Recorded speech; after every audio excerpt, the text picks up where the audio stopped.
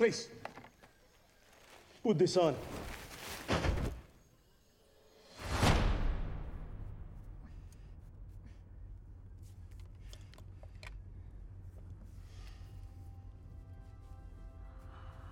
Oh, wow. I'm a princess.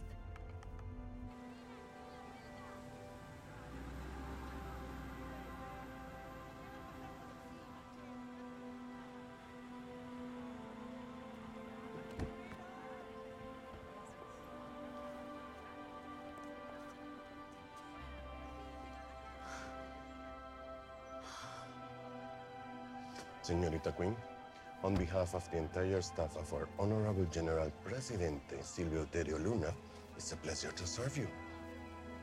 Gracias.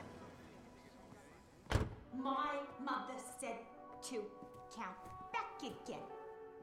Ten, nine, eight, seven, six, five, four, three, two, one. Ha! Coronel, beat that.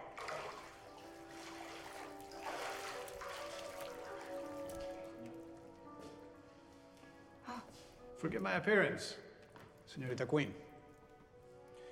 I have admired you from afar for many years now. Senorita, Me?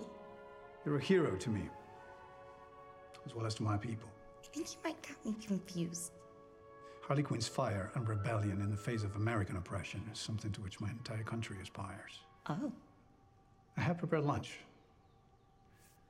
Would you be so kind as to join me? I'm so kind. Sure. So if you're lonely, why don't you say you're not lonely? Oh, you're a silly girl. I know, I heard it's so. It's just like you to come and go. I know me. No, you don't even know me. You're so sweet, so dry. Oh my, you caught my eye. A girl like you's just irresistible.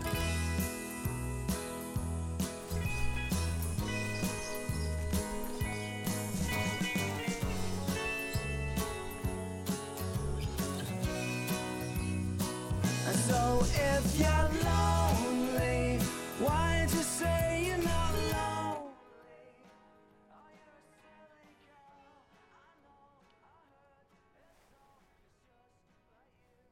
You want me to what? To marry me. You're joshing. Might I be frank, Holly? You might be. Good. Listen. Since I took control, the majority love me. But some find me to be an unacceptable leader. What kinds of dicks would find that? Don't they know how awesome you are?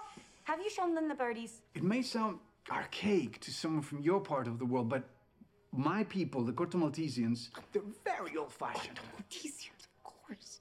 And I am a bachelor. So they want you to get hitched? My people say you would make the perfect wife. Because, you know, you, you symbolize anti American fervor. Oh.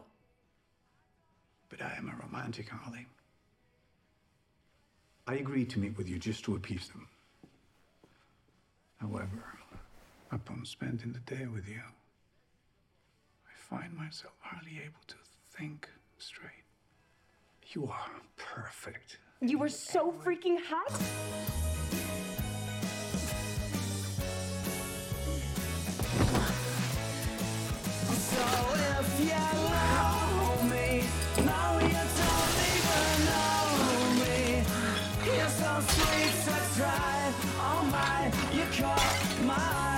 Girl like you's just irresistible.